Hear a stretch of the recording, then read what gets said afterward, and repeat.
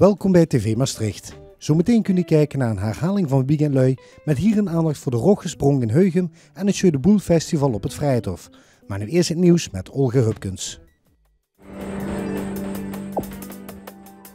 Dag dames en heren, dit is het nieuws van dinsdag 13 augustus. De vlaggen van het stadhuis hangen half stok vanwege het overlijden van prins Friso. De prins overleed gisteren aan de gevolgen van zijn ski-ongeluk vorig jaar, waarbij hij in coma raakte.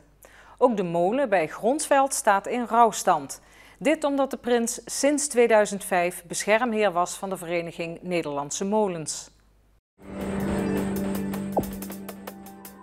Wie nu naar de koffieshop gaat, moet naast een identificatiebewijs ook weer een uittreksel van het bevolkingsregister laten zien. De gemeente had dat eerder nog afgeschaft. Dat je als koffieshopbezoeker nu weer een uittreksel van het bevolkingsregister moet laten zien, is velen een doorn in het oog omdat het zou gaan om aantasting van de privacy. Eerder besloot de gemeente dat alleen een identificatiebewijs afdoende was.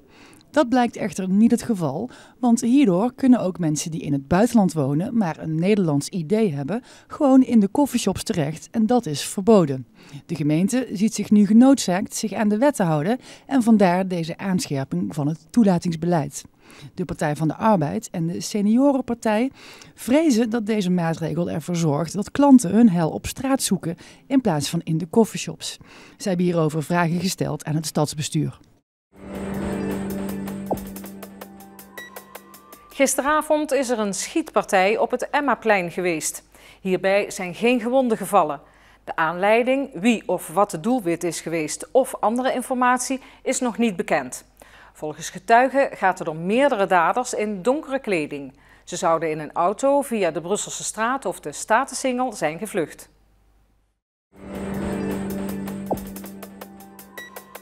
Het CDA vindt dat burgemeester Hoes zelf en niet de politie zo snel mogelijk openheid over de schietpartij moet geven. Ook moet hij de onrust die is ontstaan spoedig wegnemen. Het CDA, voorstander van sluiting van de coffeeshops, vermoedt dat het incident drugsgerelateerd is en wil van de burgemeester weten wat hij eraan gaat doen om de veiligheid in de stad te waarborgen.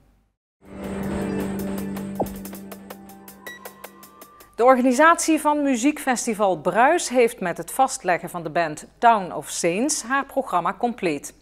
Het gratis toegankelijke muziekfestival is op 8 en 9 september op het Kompenterrein. Het programma zal verder onder meer bestaan uit Miles Kane, La Pegatina, The Handsome Poets en Clawboys Claw. De anamorfose van Mosasaurus bear op het Vrijthof is nauwelijks nog te zien. Het Jeu de Boel toernooi dat afgelopen weekend plaatsvond, heeft de tekeningen namelijk zwaar beschadigd. Initiatiefnemer van de grondversiering, de BV Limburg, laat de schildering daarom bijwerken. Veel nut zal dat echter niet hebben, aangezien de opbouw voor het prevenement al is gestart. Na het eetfestijn, dat volgende week donderdag tot en met zondag is, wordt de tekening dan wederom bijgewerkt.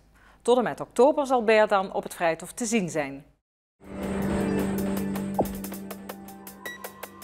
Tot zover het nieuws van vandaag. Na de reclame ziet u een herhaling van Weekendlui. Wilt u programma's terugzien, dan kan dat via rtvmaastricht.nl. Bedankt voor het kijken en graag weer tot morgen.